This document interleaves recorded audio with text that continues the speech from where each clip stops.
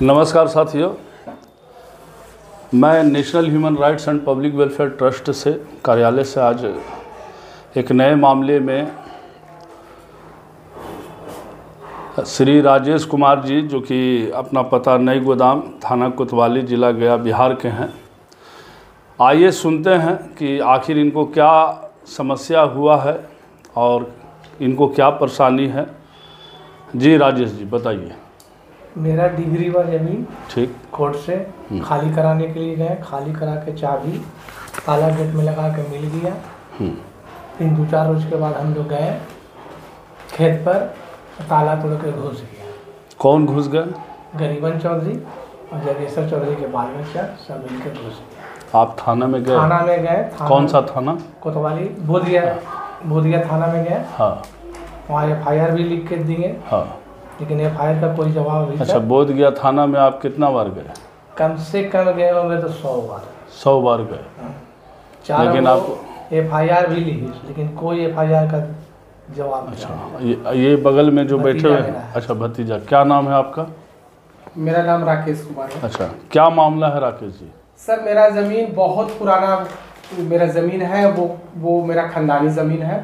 उस पर हम लोगों ने खाली नहीं करा था उस पर हम लोग केस किया। केस से हमको डिग्री हो गया।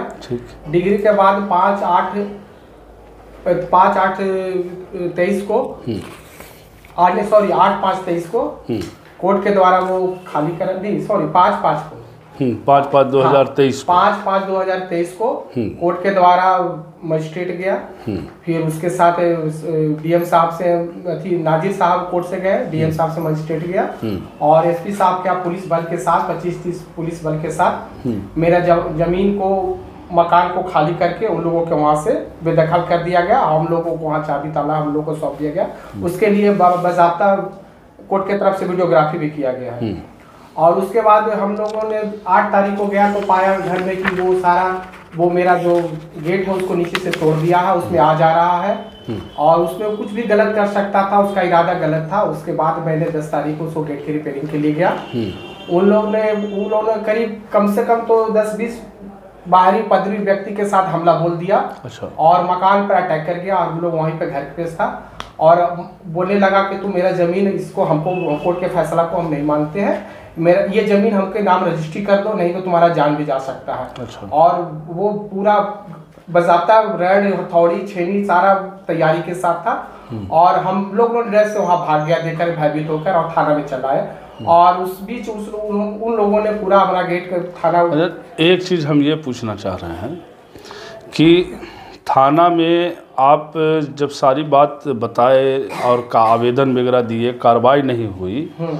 तो आप कभी ऐसा आपको नहीं लगा कि आप गया के एसएसपी सर से मिले या हाँ सर उसके बड़े पदाधिकारियों से मैंने एसएसपी साहब को भी हमने 10 तारीख को पटिशन दे चुके उसी दिन शाम को पटिशन फिर दिया हम एसएसपी साहब को। अच्छा। एसएसपी साहब को 10 तारीख को दिया और फिर 12 तारीख को मैंने बारह तारीख को मैंने नगर एसपी साहब को भी दिया। नगर एसपी साहब हिमांशु सर थे उन्होंने बजाते हमारे सामने कॉल किया थाना को कि वहाँ इन लोगों का कोर्ट का डिग्री है उन लोगों को वहाँ पर से हटाओ।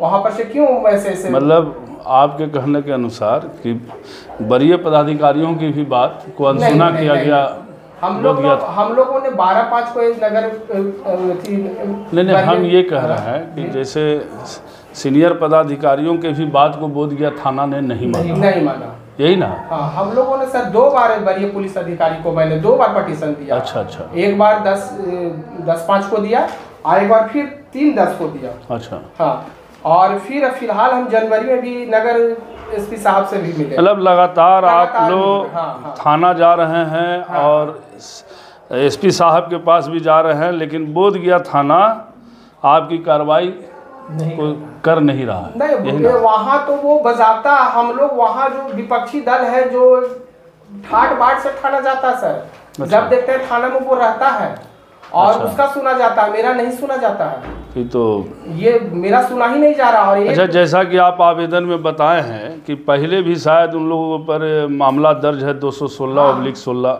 हाँ सर वो वो हमारे साथ गुंडई का गुंडई मांगा था उसके लिए 300 कुछ केस 387 के धारा। 387 धारा का भी लंबित केस है हाँ। और एक बार मेरा खेत का गेहूँ काट लिया था उन लोगों ने अच्छा। और उसमें उसको सजा हुआ है बजाते उसको तो इतना कुछ। करने के बावजूद भी बोध गया थाना अब तक कुछ नहीं कुछ नहीं उस एक बार एक बार हम लोग गए थे तो इंक्वायरी के लिए साथ में पुलिस गया था घर देखने गए थे तो साथ में गया था उस पुलिस के सामने पुलिस को बजाते खड़ा करके उस लोग उसको हिम्मत था हिम्मत के साथ बजाते वीडियो बनाया। हाँ। और पुलिस ने कुछ नहीं किया और उसके जाने पर हम लोगों को कहा तुम तुम तुमको तुमको काट काट देंगे खुदी कुर्ती जान मार देंगे। अच्छा। तुम्हारा और भी ज़मीन है सब कब्जा कर लेंगे। ये ज़मीन हमको दे और भी शायद आप एक बात बता रहे थे कि केस करने का भी जो है धमकी दिया जा हाँ रहा है। बोल रहा है कि एसएससी केस कर देंगे। थाना सर को हमारे सामने ही सब बात बोला गया था जो समय शुरू में गए थे तो। एस सी पर हाँ हाँ हाँ फंसाएँगे। एकदम हाँ कभी भी कर सकता है सर।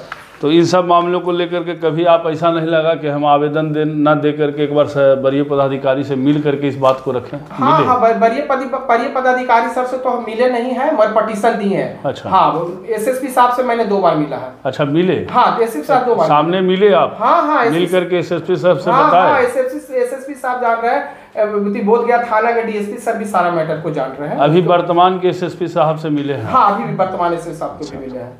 देखिए ये जो मामला है बोध गया थाना अंतर्गत मत्स्यपुरा एक गाँव है वहाँ का यह मामला है। और जैसा कि परिवादियों का कहना है कि माननीय न्यायालय गया के द्वारा इनको डिग्री भी प्राप्त है। और इन लोग के पक्ष में सारा चीज़ है, जो भी कागजात से लेकर के डिग्री है, वो सारा इनके पक्ष में है।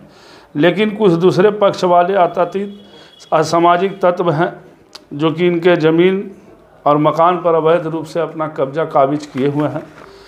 ऐसा इनका आवेदन में भी है कि भाई कई बार जो है इनका घर का गेट तोड़ करके इनका खाट, बर्तन, गैस, चूल्हा, सिलेंडर, ये सब भी लूट लिया गया।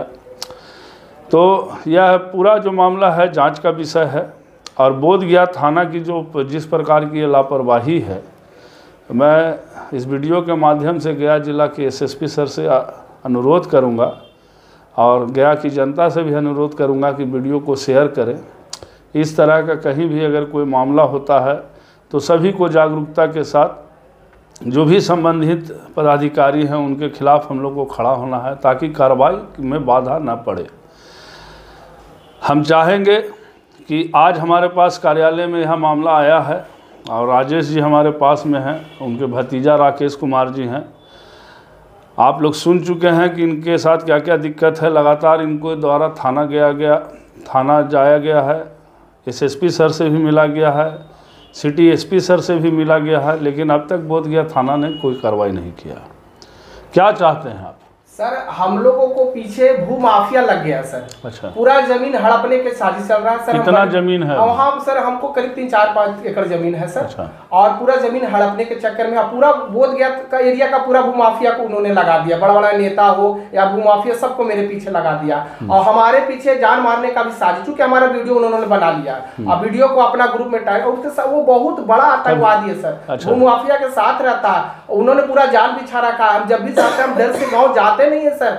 हमको एकदम गाँव जाने में हमको सोचना का जाते नहीं है। कभी कभी पुलिस के साथ गए एक आध बार और डर के कभी कभी ऊपर से ऊपर गए और चले आए। मेरा हिम्मत टूट गया सर। मेरा बाल बच्चा सब बाहर रहता कोई नहीं है मेरे साथ। जो भी है सर हमको करना हमारे पापा चचा चचा पापा तो है नहीं। चचा हमारे उतना जानते नहीं है सब चीज़ के बारे में। हम थोड़ा बहुत जानते हैं सर मेहनत करते हैं। हम हमको तो एकदम विश्वास हम तो प्रशासन से हम कानून को कानून को मानने आप जो है बिहार पुलिस को क्या संदेश देना चाहते हैं? क्या चाहते हैं सर हम उनसे वही हाथ जोड़कर विनती करते करना चाहते हैं सर मुझे कानून पे भरोसा है सर और हमसे आपसे बहुत आशावादी हैं सर कि आप हमारा पक्ष को देखिएगा और सही तरह से देखिएगा। हमारे साथ न्याय कीजिएगा हमारा जो कोर्ट से डिग्री हुआ सर हमने उसमें कुछ नहीं किया। हमारा कोर्ट से डिग्री और कोर्ट ने खाली कराकर ये कोर्ट का बहुत बड़ा अपमानना है या न्यायालय का अपमानना है सर और हम चाहते हैं कि न्यायालय न्यायालय का और जो जो भी प्रशासन है दोनों का दोनों पर हम लोग को हम लोग का और भी उन लोग के प्रति हमारा आस्था जागे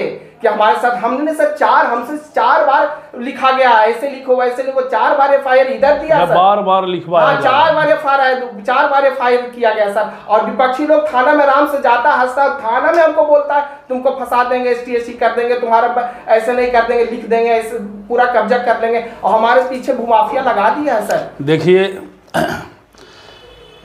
पीड़ित की आवाज़ से और उनके दर्द को हम सभी को समझने की ज़रूरत है और ख़ासकर बिहार के माननीय मुख्यमंत्री बिहार सरकार श्री नीतीश कुमार जी, बिहार के पुलिस महानिदेशक श्रीमान